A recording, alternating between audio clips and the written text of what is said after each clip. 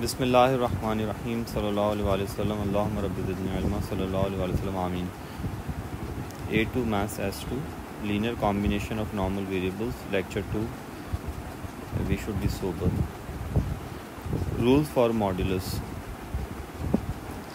Well uh, if we have uh, lesser sign here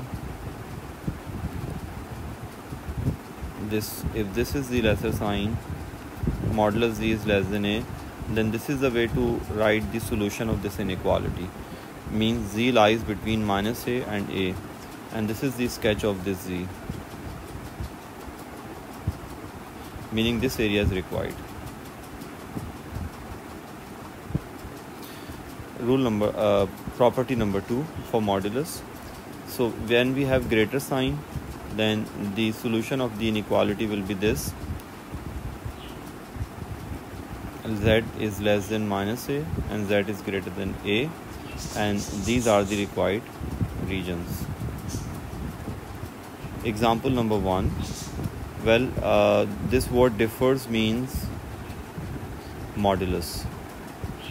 So when x differs by less than 0.02 from y then that means modulus y minus x is less than 0.02 and this can be written as y minus x less than uh, in fact y minus x lies between minus 0.02 and 0.02 because modulus y minus x can be simplified in this way.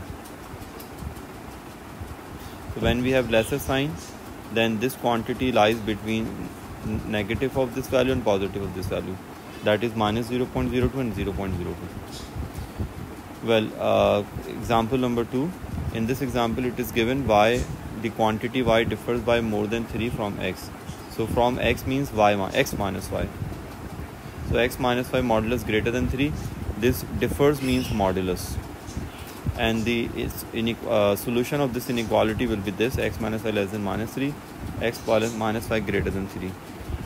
So this is the way to solve this question and these are the required areas. I try to cover all the concepts of uh, linear combination of normal variables in my two lectures. If you will watch the videos of these two lectures, inshallah, you will be able to understand the topic in detail. Be sincere. We must be sincere with others. Allah Hafiz.